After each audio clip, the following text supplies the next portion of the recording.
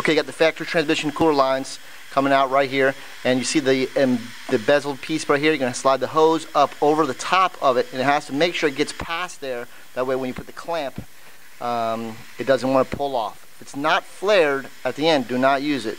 So you want to slide the hose up with a little twisting motion right here. Got to get it past the flared portion. Remember if you cut a transmission fluid line uh, it's not going to have a flare and then the, if you just put a clamp on it it's going to come off catch on fire you can have a major problem Okay, so now I'm going to put the clamps up, slide them up here, secure them, quarter inch drive nut driver, and has to be above the flare, of course, and do not over tighten the clamp. If the clamp at the very end, when you're tightening it, clicks, you've just stripped the clamp, you're going to need a new clamp. Don't take any chances, tighten it, don't over tighten it.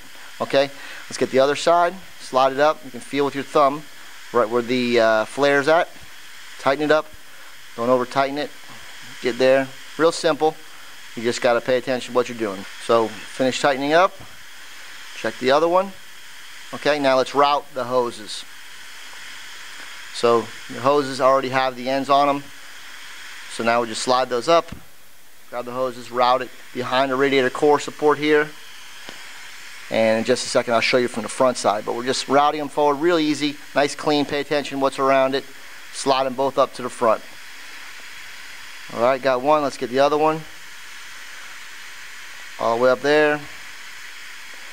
Not tight and not loose. You know, just route them through just right. Got them up front. And you're going to see they're too long, but we're going to show you exactly uh, the reason for that. Okay, so they came in through the bottom, all right? Both hoses came straight up, right through the side, along the bottom. Okay, we're good. Now, too long, they're going to route kind of too long, route around like a coil like this. One for the bottom and one for the top. Like We got our transmission cooler lines ran. And I want to show you the routing of those. I got one coming down. It went, they both went through the bottom. Both came out this way. All right. I routed one backwards, under the bottom support here, around the top. Now, the hose we're going to put through is going to go right through there. So it's going to go on the outside of that, okay? So it's got plenty of length, so it can just stay back like so. And that's pretty much where it's going to mount. The other one is going to do the same thing. It's basically going to S-curve back, stay right there, all right? And when we're done, it's going to look like that. All right, so let's attach these hoses and go from there.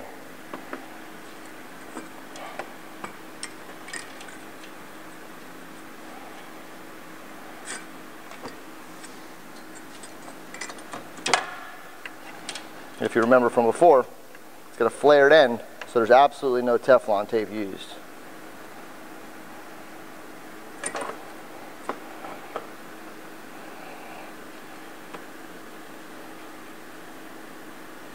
Now I'll leave these a little loose and I'm to tighten them after, that way they can rotate as I put it where I want it. And I'll tighten them afterwards.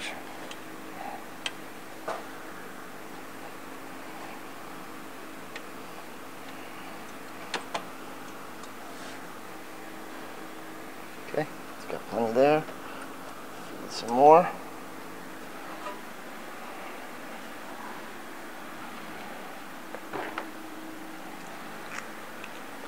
These are push through ties. So when it goes through here, all the way to the other side, and it's like a zip tie. We'll put a little cap on. We'll trim these back on the back side. I put these on the bottoms where I put these.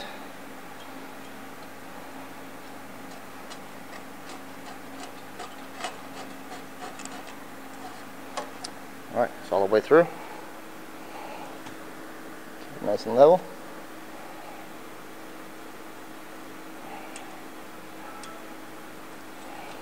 And all the way through the other side.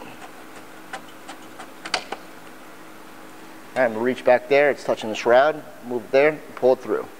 Alright, and then I check my routing, I'll make sure this is gonna go all the way through and up. Okay, it looks great for going through there tighten these up. I'm to pull this through and put the back zip ties, and that's it for a transcooler. Very simple.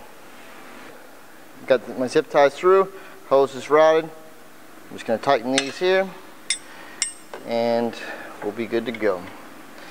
I want to tell you that on the bottom is where we want the two zip ties. The tight, the top will be very tight. So you just use two zip ties on the very bottom, okay?